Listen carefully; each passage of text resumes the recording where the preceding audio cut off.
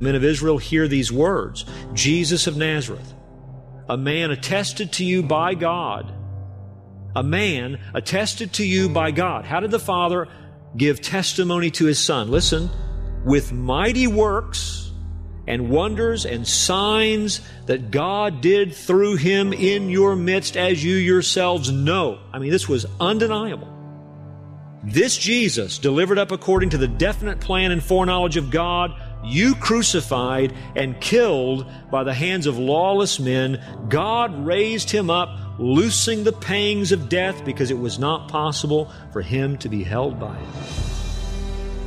And do you notice, by the way, in that sermon of Peter, that wonderful, truthful balance between an understanding of God's sovereignty and an understanding of man's responsibility?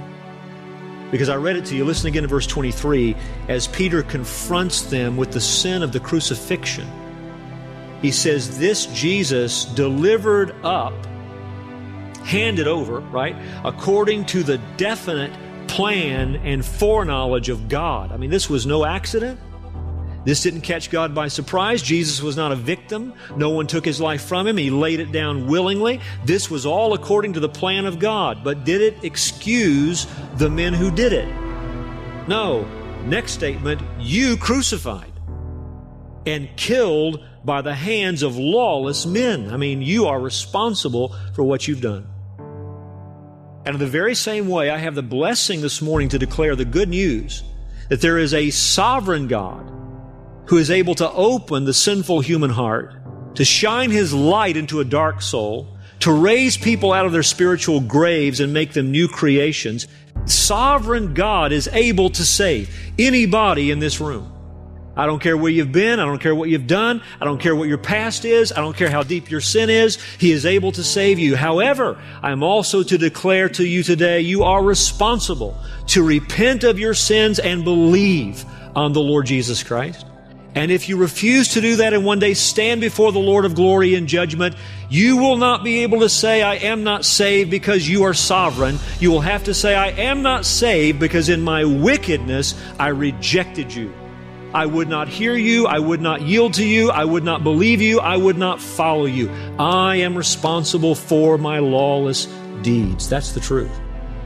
The voice of the Son of God is heard through the preaching of the gospel. This is how he calls men to himself. The Bible says, He who has the Son of God has life. Whoever does not have the Son of God does not have life. Do you have Him? You may have religion, but do you have Him? You may have church membership, but do you have Him? You may have self discipline, but do you have Him? You may have a desire for Bible knowledge, but do you have Him? Because life is found in Him. Salvation is not found in a program. Salvation is not found in personal changes, turning over a new leaf, trying to live a new kind of life. Salvation is not found in new disciplines. Salvation is found in a personal relationship with the Son of God. It is when you lose your life to have him, not something outside Him, not something that you're going to get from Him, but something you find in Him. Do you have Him?